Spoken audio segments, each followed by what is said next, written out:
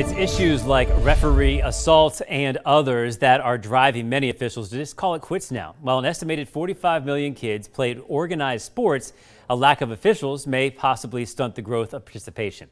So CBS 21's Michael Gorsegner is digging into this trend and maybe some new ways to fix it.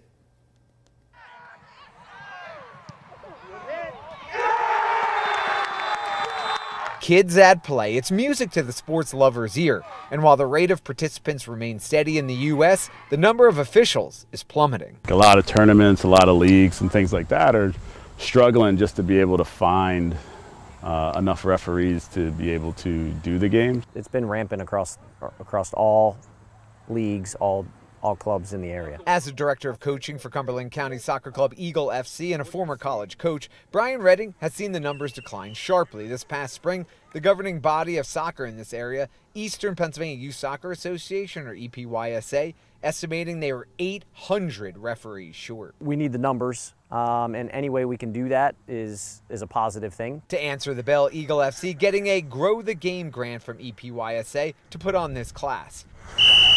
20 young officials learning the rules and mechanics of soccer officiating for free. It gives them a safe environment to, to, to, learn. Once they pass the test, their first field experience will be at the club's recreational level with kids 6 to 9 years old. It's an environment where the kids are learning to have a referee and the referee is learning to manage the, the environment in the game. When I'm not reporting for CBS 21 News, one of my passions is soccer. Over the past 30 plus years, I have played and officiated on fields all across the country. Over the years, I've refereed thousands of games at the youth level wearing the patch of the United States Soccer. At the high school level, donning the stripes of the PIAA, running fields all across York and Adams counties. And most recently, refereeing in some of the biggest college conferences in all the country. But quite frankly, there's simply not enough of me, and the trend is now alarming. Would I enjoy going to a field every Saturday to get yelled at?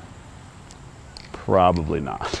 Before the pandemic, the PIAA notating an alarming departure of officials. Out of 13 sports statewide, only one saw an increase in officials from 2018 to 2020, and that was track and field.